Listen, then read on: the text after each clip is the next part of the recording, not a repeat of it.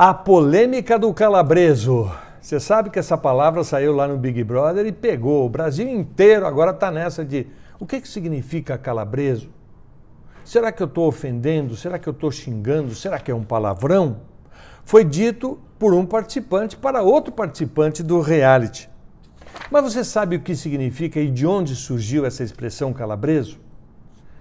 Em primeiro lugar, devo dizer que não é um sabor de pizza. E a gente também não está falando aqui de algum parente da Dani Calabresa. Nada disso. É um bordão usado pelo humorista Toninho Tornado. Já ouviu falar dele?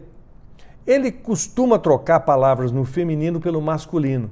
Bom, mas aí muita gente vai perguntar assim: mas quem é esse Toninho Tornado?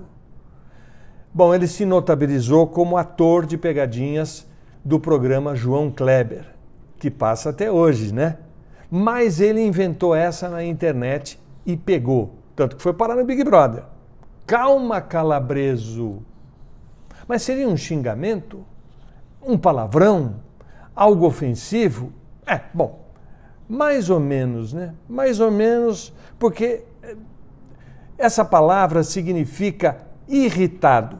Calabreso é o mesmo que chamar a pessoa de uma pessoa irritada, nervosa, entende? Que perde o controle.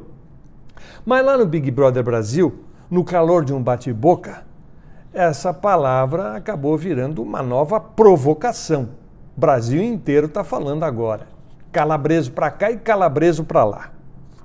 Eu diria que, sabe, pessoal, tudo depende do momento em que as palavras são ditas, do tom em que elas são pronunciadas e, principalmente, da interpretação de quem ouve, né? Isso é fundamental.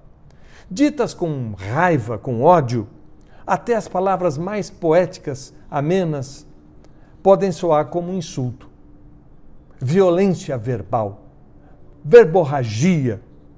Verborragia, que aliás é uma palavra forte, parece até uma outra coisa, mas deixa para lá.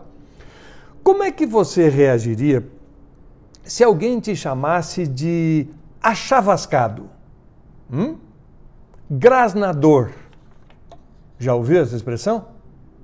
Você é um intrujão.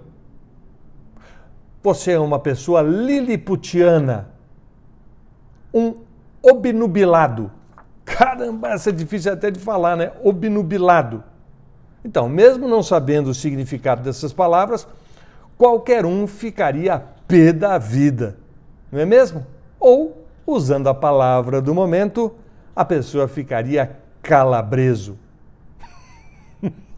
Sacou? Quem diria, hein? Big Brother Brasil também é cultura. A gente se fala na próxima crônica. Tchau.